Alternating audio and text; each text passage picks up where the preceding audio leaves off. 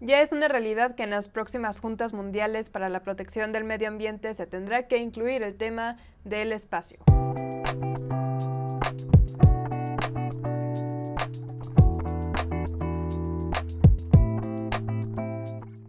Y esta no es la primera vez que mencionamos en el canal el tema de la basura espacial. Si recuerdan el video que hicimos de los futuros planes, o ya no tan futuros, sino actuales planes de Elon Musk y Jeff Bezos para traer más internet, más satélites. También hablamos de las consecuencias que se están dando ya por este exceso de satélites. No solo en uso, sino también algunos viejos que ya no sirven para nada, pero que nadie los ha quitado de ahí y que solo están orbitando alrededor de la Tierra con el peligro de que en algún momento puedan colisionar y y si en algún momento se tendría el riesgo de que caigan a la Tierra. Ya no se burlen de los dinosaurios, porque así nos van a tocar. Y si alguna vez estuvimos celosos de que Saturno tuviera un anillo alrededor de sí mismo, pues nosotros podemos crear un mismo anillo, pero con basura. ¿Y por qué en este momento el tema se ha vuelto más relevante? Pues el lunes pasado Rusia hizo algo que debió consultar primero. Pero hay que recalcar que este problema no solamente involucra el espacio, sino también la política.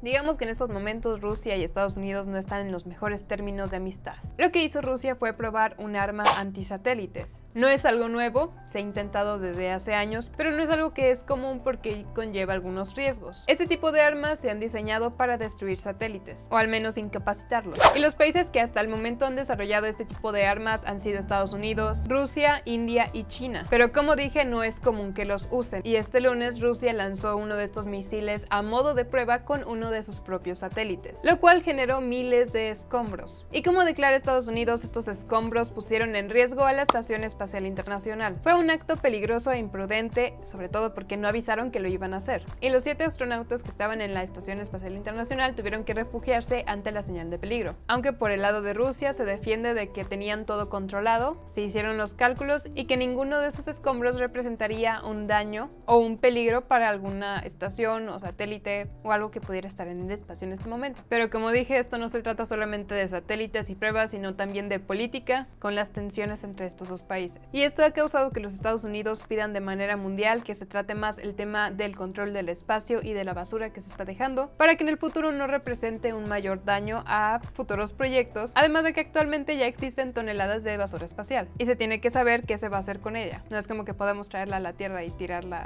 al océano. Es un tema que les urge discutir ya que, créanlo o no, nos afecta mucho a nosotros, ya que en el espacio encontramos los satélites que controlan alguna de las funciones que utilizamos hoy en día, como telecomunicaciones, GPS o predicción meteorológica. Incluso este martes la NASA tuvo que cancelar una caminata espacial, ya que había una pequeña amenaza de basura espacial que pudiera afectar a los astronautas que tenían que reparar una antena. Aunque en este último punto no se han confirmado si estos escombros pertenecen a lo que explotó o simplemente son escombros que ya habían estado ahí desde hace tiempo. Y algunos no se dan cuenta, pero el tema del espacio es más un tema actual que del futuro. A veces lo pensamos como que todavía faltan miles de años, pero realmente ya estamos ahí. Incluso fue hace un par de semanas que la NASA estaba probando algunos misiles para evitar o desviar asteroides que en el futuro puedan venir por ahí a amenazar la vida de la Tierra.